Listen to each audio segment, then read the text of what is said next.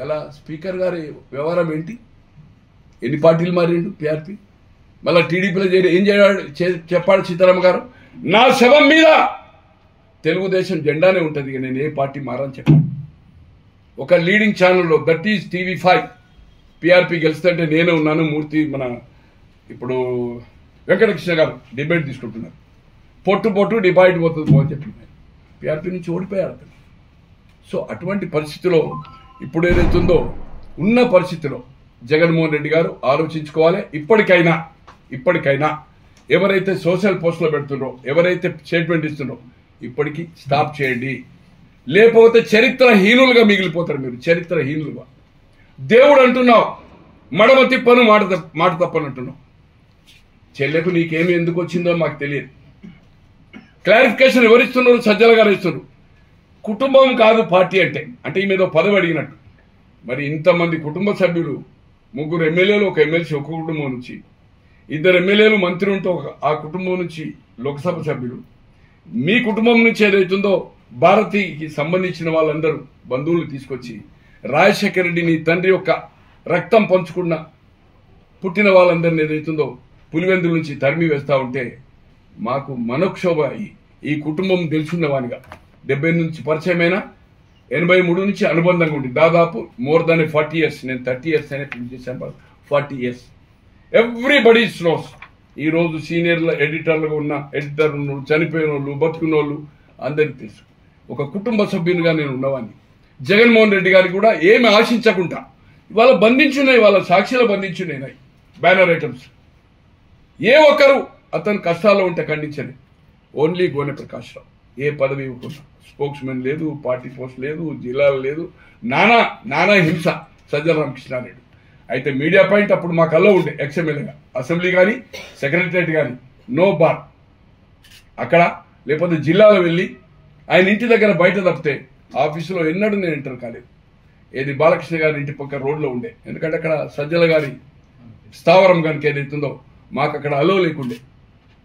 అతన్ని నేను అతను పంపిన నోటుని ఏ ఒక రోజు చెప్పలే కనుక అతను నా మీద కక్ష కట్టాడు. పర్లా నో ప్రాబ్లం నేను హ్యాపీ నిజాయితీ ఇప్పటి వరకు ఉన్నాను. ఏది ఆశించి నేను జగన్మోహన్ రెడ్డి గారితో లేను.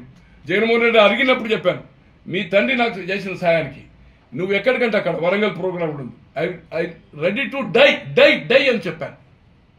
ఆ రోజు నేను ఇక్కడ ఈవినింగ్ ఒక ప్రోగ్రామ్ ఉంటి మార్నింగ్ ఒక లైవ్లో ఉంటి పోయే వరకు ఆయన భువనగిరి పక్కకు అక్కడ ఆపారు ట్రైను అన్నా నేను ఇక్కడి నుంచి వాపస్ నీకు నో ప్రోగ్రామ్ అని చెప్పాను. నేను మహబూబాద్ వరకు పోతుంటే పోలీసు వాళ్ళు ఏదైతుందో టూ కిలోమీటర్స్ ఉంది. అక్కడ వాయిలెన్స్ అవుతుంది. రౌతులు వేసుకొని ఫైరింగ్ అవుతుంది ఓపెన్ ఫైరింగ్ అయ్యి ఈయన కూడా ఇప్పుడు ఎమ్మెల్యే ఆడు వరంగల్కి వెళ్ళి.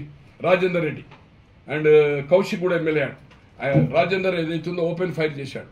ఏది ప్లాట్ఫామ్ మీద ఏదైతుందో జగన్ వస్తారనుకున్న ట్రైన్ బట్ ఆ రోజు అక్కడనే ఆపేసి ప్రోగ్రామ్ చేశాడు. అటువంటిది జగన్మోహన్ రెడ్డి గారు కళ్ళు తెరవండి. ఇప్పటికైనా నీ చెల్లిని ఏదైతుందో నానా తూలరాడిని వాళ్ళని ఏదైతుందో కట్టడి చేయండి వాళ్ళపై కేసులు పెట్టండి ఒక అప్పీల్ ఇవ్వండి. రాజకీయాలు వేరు. రాజకీయాలు డిఫర్ అయింది ఈ రోజు మాధవరావు సింధియా తల్లి బీజేపీలో.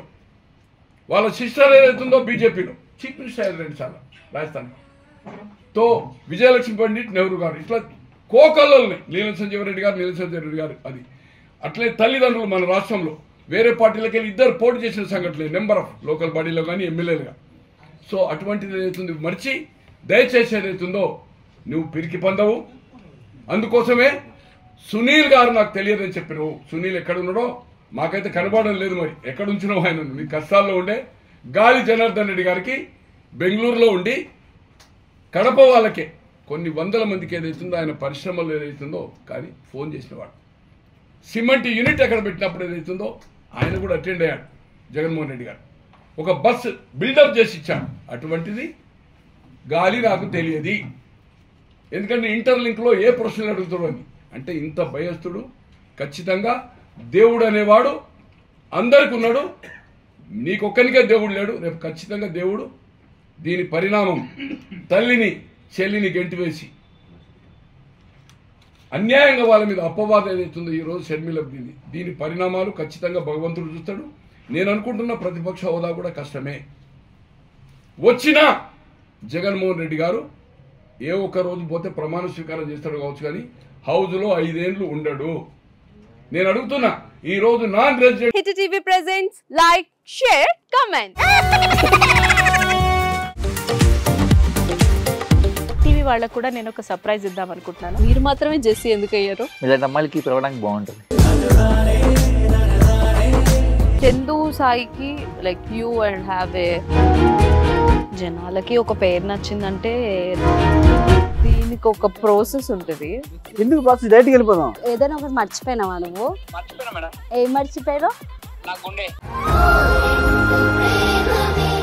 ఏదో ఆ టైంకి మన సుడి బాగుంటే ఎవరన్నా చూపిస్తే రాయగలం కానీ. డోర్ టు డోర్ సేల్స్ చేసేవాళ్ళు. శారీ వస్తుంది కదా శారీలో వెనకాల కట్టుకుని. అమ్మా